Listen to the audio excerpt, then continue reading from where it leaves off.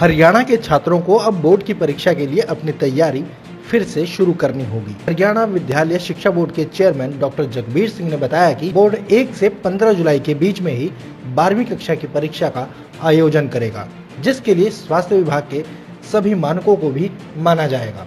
Board ने तय किया है कि रोल नंबर वही रहेगा, लेकिन सोशल डिस्टेंसिंग का पालन हो, इसके लिए बोर्ड परीक्षा के सेंटर बदल सकता है। जब माननीय शिक्षा मंत्री जी ने कहा है कि जुलाई में परीक्षाएँ होंगी तो बोर्ड की चाक चौबंद व्यवस्था है। बोर्ड एक से पंद्रह जुलाई के मध्य में जो सतगित परीक्षाएँ होगी थी बारहवीं कक्षा की वो लेगा। और दसवीं के लिए सर क्या है? दसवीं भी कुछ परीक्षा रहेगी जैसे साइंस की परीक्षा है वो दसवीं की नहीं हो पाई थी उससे पहले कोरोना के चलते लॉकडाउन हो गया था। तो दसवीं की परीक्षा 18 मार्च को आखिरी परीक्षा हुई थी 19 मार्च से परीक्षा स्थगित हो गई थी। अब तीन महीने लगभग बीतने वाले हैं।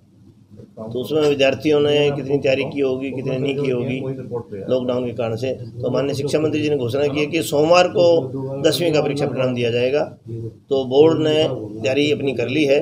सोमवार को निश्चित रूप से हम दसवीं कक्षा का परीक्षा परिणाम देंगे। चार परीक्षाओं को आधार मानते हुए, पाँचवीं की एवरेज उस पर निकालते हुए विज्ञान की का हम रिज़ल्ट देंगे। और जो विद्यार्थी विज्ञान विषय में ग्यारहवीं करेंगे तो उनको विज्ञान की परीक्षा बाद में देनी होगी। तो ये जो परीक्षा होगी विज्ञान की ये कब होगी? उसके लिए कोई शेड्यूल तैयार हो पाया उसके बाद जब विद्यार्थी तय हो जाएगा कि विद्यार्थी ने विज्ञान ले लिया है क्योंकि जब स्कूल प्रारंभ होता है तो विद्यार्थी जोश में आकर के पहले तो विज्ञान विषय ले लेते हैं लेकिन कुछ महीने डेढ़ महीने बाद वो विज्ञान विषय को छोड़ देते हैं।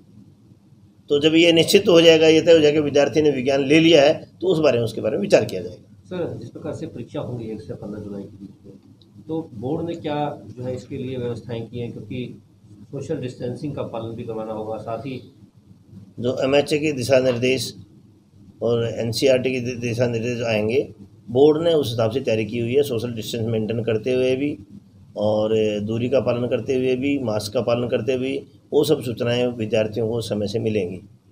तो एक से पंद्रह जुलाई के मध्य में ये परीक्षाएँ होंगी। और लगभग हर प्रत्येक विद्यार्थी को 10 से 15 दिन पूर्व किस चीज़ की परीक्षा है उस विद्यार्थी को सूचना दे दी जाएगी। प्रत्येक विद्यार्थी का रोल नंबर वही रहेगा लेकिन डेट शीट नहीं जारी की जाएगी। तो जो बोर्ड सेंटर थे तो सेंटर में क्या बदलाव होगा या सेंटर जो है परीक्षा के जो पहले थे वही हाँ तो सामाजिक दूरी का पालन करते हुए तो परीक्षा के अंदर बदले भी जा सकते हैं इसलिए जब रोल नंबर जारी होगा तो उसमें सब सूचनाएँ मिलेंगी।